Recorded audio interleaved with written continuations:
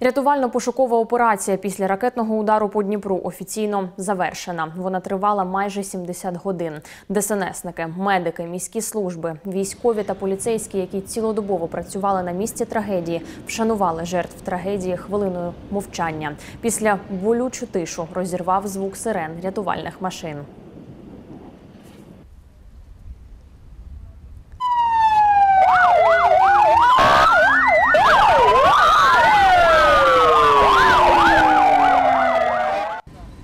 До тролейбусної зупинки, що стала меморіалом скорботи, поклали квіти і іграшки. Вшанувати пам'ять загиблих приходять містяни з усього Дніпра.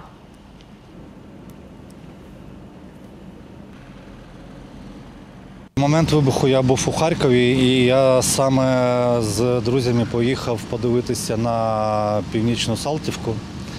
е, Що там трапилося? Це був я там у суботу, ходив.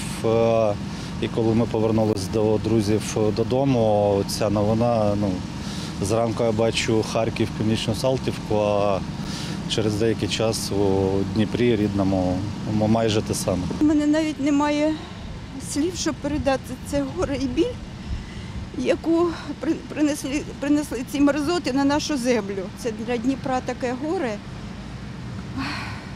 Понімаєте, це горе для всього мирного, чоловічного, як кажуть, людства. Люди, які співчувають чужому горю, це люди. А ті, що усміхаються і радуються нашому горю, це не люди. У них руки в крові, і вони терористи.